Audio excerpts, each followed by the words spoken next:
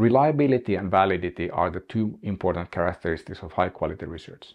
However, reliability and validity and it, the quality of research more generally can be understood in various different ways, particularly if you do qualitative research. This is how quality, uh, quality of research is often presented. So this is a very quantitative way of understanding high quality research. Reliability refers to if you do the study again, would you get the same result? Basically about measurements because everything else is assumed to be deterministic in quantitative research. Measurement validity, sometimes construct validity, refers to whether your variables measure what you're supposed to measure. Statistical conclusion validity, do you do statistical uh, inferences correctly? Internal validity, are your causal claims correct and supported? And external validity refers to whether the study generalizes. So this is a very quantitative way of viewing validity and reliability. And it's not, but it's not the only way that you can view the quality of research. For example, our book says that we have reliability, replicability, and validity here. And the idea here is that replicability is added because you should never trust a single study. So a study is only trustworthy if the results repli are replicated across different studies. So it might be that we uh, make a small error in our study or we just get a lucky and get a, a finding and then the finding is published because it's surprising and we have data to support it. Then others don't replicate it. Then if it doesn't replicate, then it's not valid research. Uh, this term uh, replicability is related to two different concepts. We have uh, re reproducibility and replicability, and these are often confused.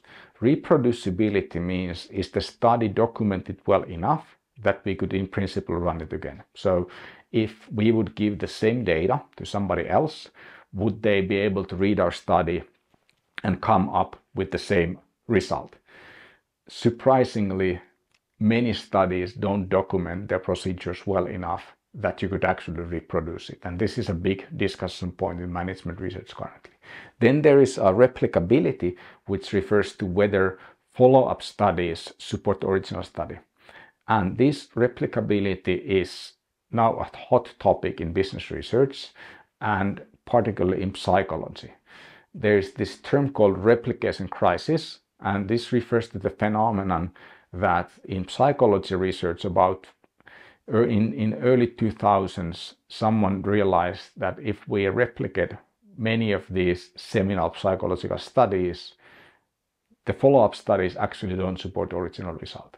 So the studies that uh, the theories are based on don't always replicate. So they might be just chance findings, some errors, somebody getting lucky. There's a really great video on YouTube called Is Most Published Research Wrong that explains this problem. Then uh, reproducibility is something that is also discussed a lot in management research.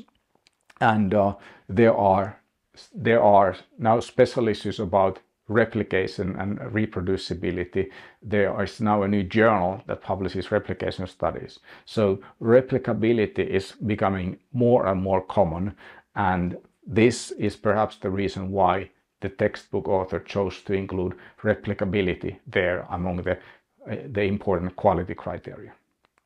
Then if we look at validity, then validity also can be understood in different ways. And our book explains validity in, in four different ways. So we have measurement validity, whether the variables actually measure what they're supposed to measure, internal validity, causality, and uh, sometimes statistical conclusion validity is included in internal validity because unless your stats are correct, then your claim cannot be correct. So uh, this statistical conclusion validity is understood to be a part of internal validity. The external validity is generalizability. But the, here we have this concept of ecological validity, which the most commonly used uh, categorization of validity that I had on the first slide does not include. So what is ecological validity? Ecological validity is uh, originates from experimental research and the idea from, from those experiments is that the experiments should mimic real world scenarios as well as possible instead of being some kind of artificial scenarios that are run in labs. So that is the origin of the concept of ecological validity. Ecological validity is often used as a synonym for external validity. So external validity is used in, the context of lab studies, whether the study generalizes from the lab in, that's internally valid to externally outside the lab. And um, external val uh, ecological validity is thought to be a part of external validity or the same thing. Uh, this is really used in management research. I have about 10,000 articles stored in my on my computer, various kinds of business research, and I couldn't find a single hit on, of ecological validity in those except for one book that used it for a different purpose. So this is not very commonly used. Imp important parts are external validity, internal validity, and measurement validity. Those are pretty much agreed on by everybody that they are important. When we go to qualitative research, qualitative researchers, for good reason, think that qualitative research should have different validity standards. And uh, one very common is from Lincoln and Guba, and they present this uh, credibility, transferability, dependability, and confirmability, which are uh, similar to the four kinds of validity that I explained on the in the beginning of this talk.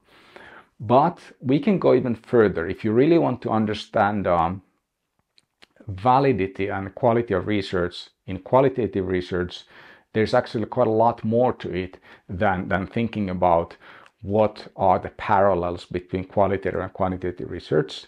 For example, if you do an interpretive research, then um, whether you are your study presents the info, the experience of the informant in authentic way would not be captured by these because these are more about whether the propositions are correct.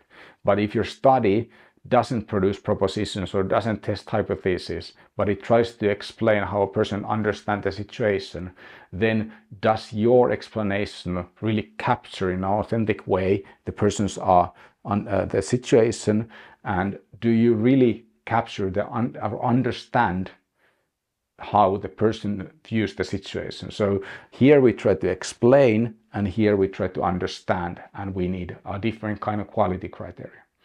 If you're doing a critical study where your goal is not to explain or understand the current situation, but perhaps change the current situation, then um, you might add that the study must be consequential. So a study that doesn't have any consequences, studies something that doesn't make a difference, would not be a valid study from the critical theory perspective.